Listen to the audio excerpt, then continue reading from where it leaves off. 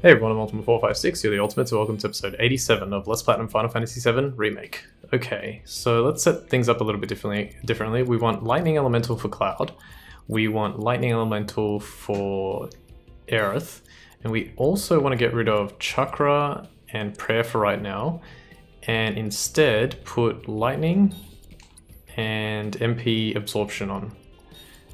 Cool. And what this will do is it will allow us to get, regain our MP very, very quickly. Or quite a lot. Alright, so th this is how it works. Go in here. No turning back. Hit him with Cloud a little bit. Switch over to Aerith. And then attack the Iron Sphere with Aerith's uh, wand. Just keep attacking, keep attacking. You notice that pressure gauge is going right up. Okay, so let's use Arcane Ward. Just, okay. Okay, she did hit me, but that's fine. I mean, he did hit me, but that's fine. I'm going to use regular Thunder, so watch her MP. So I just used Thunder at 120 MP, and I basically got all of it back. So now what I'm going to do is I'm going to do this a bit more. I will... let's do this again. You know what, let's switch to Cloud. Where's the... Oh, you can only have one active at the same time. I didn't know that. Okay, that sucks, but that's fine. So watch this. So Thunder, so she's on 121 MP, and now she's back on 121 MP. and now she's back, oh, now she's on 123. This is the power of MP absorption with, with uh, being in the Arcane Ward. So let's have a little bit more fun, and let's try this. Thundaga. Boom. Boom. That was max damage on the first one. Okay, I need to use regular thunder because that was too much. The the reason I think that doesn't work is because it does too much damage. Sorry, um, no, no, it costs too much MP. My, my mistake. It costs too much MP. One more stagger, one more stagger. Good. Oh, look, she's already maxed out her limit gauge, so this will do 6,000 and then 3,000, so it should give, give me 9 back for a cost of 5. Perfect. That worked out really, really well. She got another Telluric Scriptures, so if I do this, she should learn something. Hey, materia slot added. Fantastic. Alright, let's give her something else. Uh, let's give her prayer again, because she was working on that. We did finish chakra. Wow, we finished both chakras, and we're up to prayer. Okay, so now what we want to do is pick this up, be careful. So they talk about it. Do not do not return to the reporter. Do not. Because we're gonna go complete weapons on a rampage. We're doing it all in all in one go. Uh, except for paying respect, we will have to run to that one, but that one is uh, much closer, and you can't do it the other way because paying respects comes next after the one we're doing now, weapons on a rampage.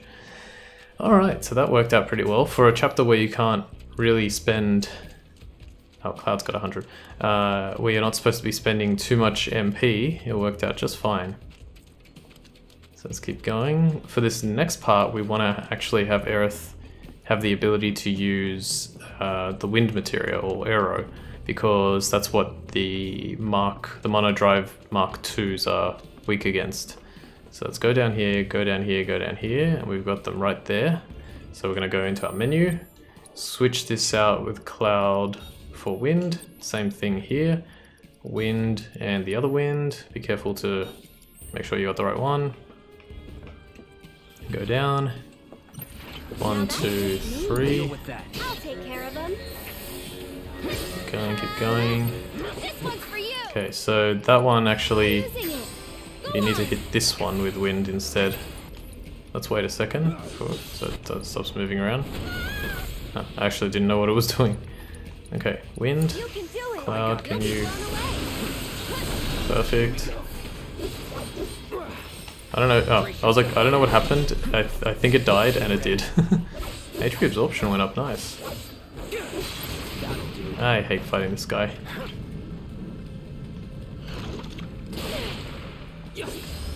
Uh, yeah, nice. Okay, we did it. That's pretty quick considering how annoying those guys are to fight. We are a little low on HP. Hey, look at that, Aerith's got her MP back. it actually went higher. Yeah, we're a little low on HP, so I may choose to quickly heal in just a moment. You know what? Let's quickly do that now. Healing. Reason being is if I can just do this, that should be sufficient. Damn, I was like, if I get a, a Mako shard, it'll be fine. Switch back to wind, go. Yeah, still doing pretty well. It's not like we're gonna run out or anything. Oh yeah, apparently, uh, no, so yeah, this one's weird. It says weakness here, but the Gorges aren't weak to, oh wow, that was interesting. The Gorges aren't actually weak to wind, but they're, apparently they're weak to magic. So if you use your intel check, it'll tell you that. Let me uh, save the game again as well. This fight sucks. I, I really do not like this fight. In fact, I would almost go so far as to say that it's better to switch to Aerith here and just have her attack everyone. Like that. Immediately go for Arcane Ward. Immediately go for... Oops. That is not what I meant to press. Go for Aero on, let's say, this one. Switch to Cloud. Damn. Alright, well that one died. I think. Yeah, it died. The thing that sucks is both of these ones are immune to magic attacks right now. Oh, another thing you want to do is probably smash these. Yeah, because if you can get the Mako shard there. Are they still weak to... Okay, good. The other one is weak to magic, so let's jump in here. It's definitely going to die, so just one to go. Hey. Triple slash? Yeah, maybe triple slash is better, because it kind of like tracks the enemy. Cloud is a little on the weak side. One, two, three. Come on, man. Okay, done. So now, it'll tell you to return to the scared man, and you want to say yes to that. We can complete both both quests at the same time. Alright, doing pretty well. It went even better on my practice. I like everyone got into the same area and it was just they all got killed. Maybe. Almost feels. Oh, what am I? Now hold on. Anyway, if you're ever in. Uh, sure. Actually, while you're there's this old guy who hangs out. Yeah, so he tells you about the old guy who has the paying respects quest. Talking to him. Completed that one.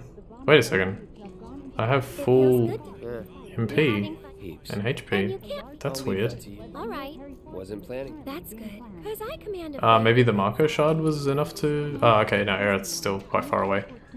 All right, so here's the old guy. It's the guy with the anniversary thing. We got the graveyard key. And before we do, wait, let me think about this. You know what? Let's do it this way. I was gonna go hand in the Angel of the Slums, but I think it actually makes sense to hand it in after. Save more time. Run, run, run, run, run. Yep, so now all we have to do is do paying respect. Now this is very important, as I said in the last episode. Do not, whatever you do, do not hand in paying respects.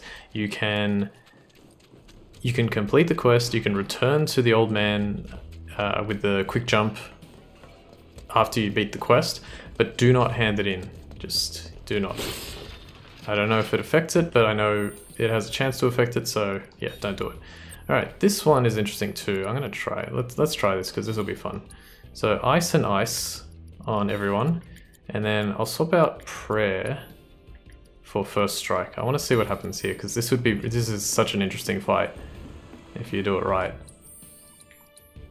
If everyone can be together, it's awesome. Okay, hop in. Go. Switch to Aerith. Here goes. Fire once. Use Arcane Ward. Using it.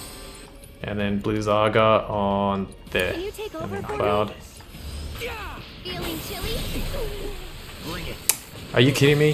They were nowhere near. Gotta get through this. Get him. Okay, come on, come on, come on. Get in there. Nope. Go attack Cloud. Yes, perfect. Blizzaga on this guy. Sorry, but you handle it. Come here, come here, come here. All of you. Yeah, let's go. and one's dead. Uh, oh, I didn't have enough. How is... Brace yourself. Take the lead. Wait, wait, wait. I'll do what I can. Stay right there.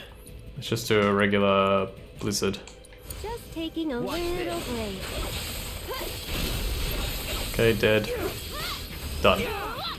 Perfect fight. One more shot. Really, really good. Not perfect, but This good. okay, so she runs over there. I think she asks Cloud if he wants to pray. He says no. We return to the old man. So what happened there? You might notice we got the we got the Telluric scriptures for Aerith, and now we can come back and talk to the old man. But we don't want to. Instead, we want to run straight up here. Should have gone left. No, I'll go left now. Go all the way up here. And then, actually, I think technically you could hand in paying respects and leave the Angel of the Slums, but this one is better. This one gives you 2,000 gil. I don't know what the other one gives you, to be honest. I can't remember. Looks like to the nosy. Let me I was planning to, but next time. Not sure. Sorry about that. Here I was. Just, Now, now. In any case, um, everyone. It's about them. Don Corneo, excuse me. So much for here. Oh, hmm, and Don't think it actually gives you much of anything. I don't know. We'll see. Alright, and now we're pretty much done with chapter 8. I just got to beat Rude. Before we do, we have to set up our party. So we're going to go Wind again. Maybe it makes sense to do that one last then, if I can. Wind, Wind, Wind. Now, Rude is, uh, he's not difficult. He's like exactly the same as Reno. It's like, it's not a difficult fight. It's just, um, is like awkward. So I'm going to try my best to just do it properly, or do it as best as I can. Charge in, counter. Let's get Aerith to use Arcane Ward. Okay, I don't like Sweet Dreams. It's very difficult to avoid this move. And when it happens, it's, yeah, it sucks. So we'll just do a double arrow. Oh, that was cool. Oh, get in there. the? Yes. Uh, yeah. Phase two.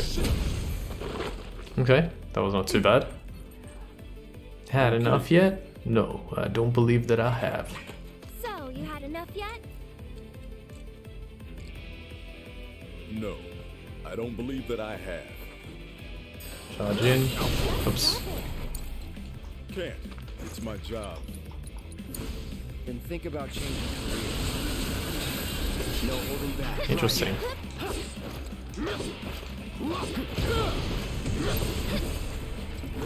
I'm waiting. Come Deal with on. That. I'm coming. Cloud's pretty strong, isn't he? That's the way. Spinning axle kick. That is pretty damn hard to avoid. In fact, I don't even think you can. I should have blocked it. You'll be blown away. How's that payback working out for you? Come on. Oh, Better than expected. please. Yes. Okay, I won. Alright, bit of an awkward fight, but I won. Uh, okay, this cutscene is nothing important. He just has that um, funny moment where Reno calls him and his phone is like da da da da da da da da. Uh, and I guess last thing I'll just quickly do. It's not really important, but I'll do it because I like it better like that. Oh my god, go. Spells, Curaga on Cloud. Wow, and he still has almost 100. And we'll leave it on Wind. Go. Alright, last thing. If you complete all the quests uh, here, you get another quest called the Language of Flowers. It's a discovery one called the Language of Flowers. And basically what happens, I'm just going to pause here. I'm going to try to try to read what I wrote down. I said we won't be able to get the next scene, but if you complete all the side quests, you get a secret one called the Language of Flowers. It's that discovery thing, like uh, like we got with Tifa in Chapter Three, that said "Alone at Last." The scene is shown. Uh, if you if you care, it's um, the actual scene is on episode twenty eight at nine minutes and twenty five seconds. So if you want to have a look at the scene, and I wrote the only thing I can glean from this scene is that Aerith has a special connection with the flowers, and it seems like the flowers are sort of the opposition to Sephiroth's feathers. So the black feather is a sort of a, um, a physical way of showing, or like an like with imagery showing throughout the game, like this is this is Sephiroth. It was even even in one of the very first trailers when the the remake got announced, like all the way in 2015 or 2016 or whatever it was. Um, and apparently the flowers themselves are trying to warn everyone about him, as far as I can tell. Uh, Aerith then says there's there's a final step that needs to be taken before they can say what they need to say. Otherwise, we won't hear them. So there's a final step that needs to be taken, and then she also says, "Otherwise, we won't hear them." That's quoting her. And then finally, Aerith becomes quite self deprecating when she calls herself a quitter, but Cloud reassures her that this is not the case. She says she's been working hard today because it's special, but simply laughs at Cloud when he asks why it is. Or, yeah, why, why this is the case. So, yeah, it's a very, very cryptic scene. I haven't really been able to understand exactly what's going on, but it's just more of the idea of like how Aerith seems to just know that things are going to happen before they happen. Uh, okay, let's go in here and get one more scene before we finish this You're chapter. Heading in already? So yes, and then the game will say progressing past this point will prevent you from completing any active quests. Are you sure you wish to proceed? Yes, we did Yeah. four. That's enough for one day. That's enough for one day.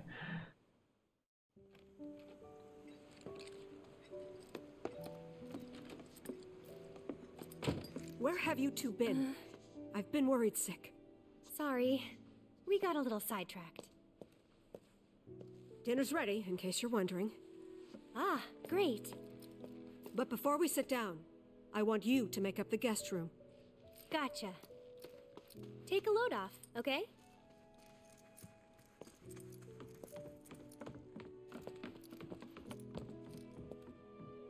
So just quickly before we continue, this one is not as important, but the scene that occurs immediately after this, after this is important, and I think it relates heavily to this scene as well. So I'll, I'll explain that when we get there.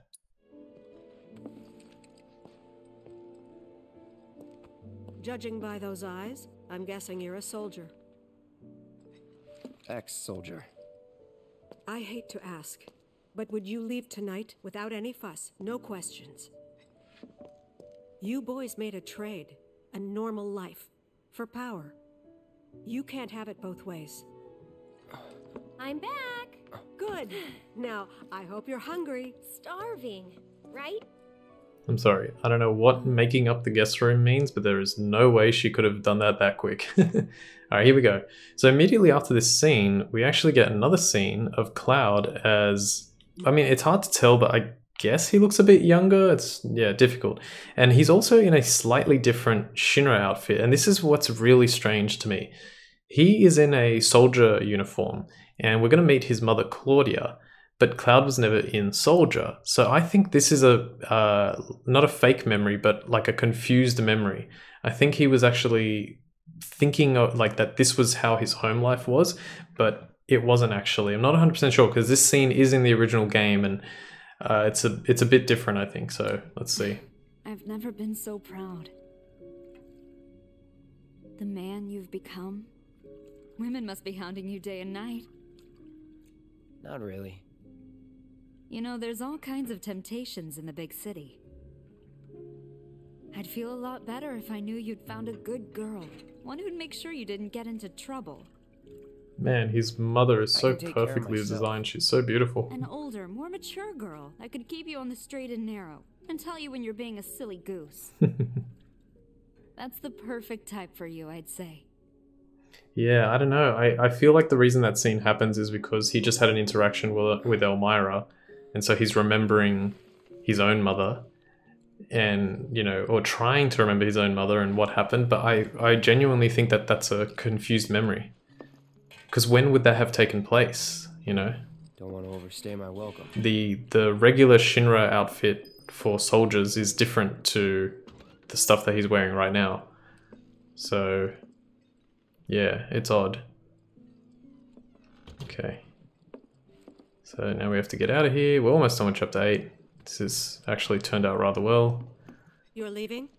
So, how do I get this? It's simple. Okay, isn't so she asks you to go. You got it. Thank you. and you go. And that's all there is to it. That's all she wrote.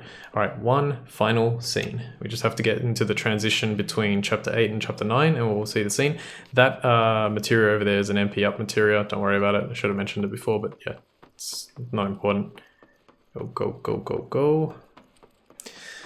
Alright, so this is where I've practiced up to, so now I need to continue practicing. It's one it's almost one one o'clock on Sunday, so hopefully I can at least eke out two more episodes. Oh, I forgot to I didn't um talk to this lady, the house mother, when I left normal mode, but she actually has a few things to say. Let's listen to it. If it isn't the new florist, I appreciate you helping the kids out today. Thank you. They won't stop talking about the soldier who saved the day. Oh, and make sure to give my thanks to Aerith, too. Sure. And then she says I heard you're not a florist at all. That you're actually a mercenary? Don't push yourself too hard. I heard you're not a Okay, florist that's at all she says. That you're actually So yeah, just a little bit of extra dialogue. Sorry I forgot to talk to her during normal mode, but it's alright. She pretty much, she says exactly the same thing. Alright, and here is another really, really important scene that I'm really happy that, I, I think I've got this one like nailed. I think I nailed this one on the head. Here we go. Oh, Well, look who it is. Talk about a coincidence. So another thing, she she knows that Cloud tries to leave because she's been through this before. Although I think in the original game she also figured it out. So maybe in the original game she would used intuition. Here she just knew. what are you doing here? Waiting. Why? Because I'm not sick of you yet. Oh. Lead on then. Chapter nine. With pleasure. Here we go. All right, watch what happens. He's looking at Aerith as she's walking away. He gets a vision, and if you're listening carefully, you hear very specific music, and he cries a single tear. Cloud? Is something wrong? It's nothing. Okay, and so I will point that one out. I am like 99% sure that the reason he's crying there uh, is all to do with Aerith's death. He somehow has a vision of Aerith's death, and we know he's crying about Aerith because the music changes to. I don't know if it's Aerith's theme specifically. I think it's actually the Final Fantasy VII main theme. And if you're still doubtful, go back to the very beginning of the game, look at the part of the opening cutscene where this uh, the scene transitions into the sky and you see stars and, and like the night sky and the stars. And then from that point it transitions downward to Aerith who is knelt at the the pipes where the Mako is coming out. And as that transition is happening that's exactly the music that plays uh, that the one that just played now is exactly the music that plays there. So it's heavily hinting. It's like, look, this is this music is to do with Aerith, and and he looked at Aerith walking away as you know, like more metaphorical explanation of like she's walking away from his life. She's leaving. Um, she died, and he he actually like cried a single tear. So I think that one, like I'm pretty confident on that one. All right, cool. Completed chapter 8 on hard difficulty. And we will start chapter 9 next time. For now, I want to thank you all for watching episode 86 of Let's Play Final Fantasy VII Remake. My name's Ultima456. You're the Ultimates. And I'll see you next time.